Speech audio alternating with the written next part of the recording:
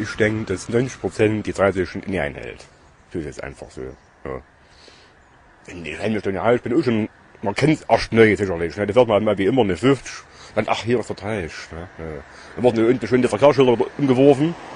Dann Dölen oder wie immer, ne? Hier sind die Verkehrsschilder im Straßengraben. Ja, gut. Jetzt hier.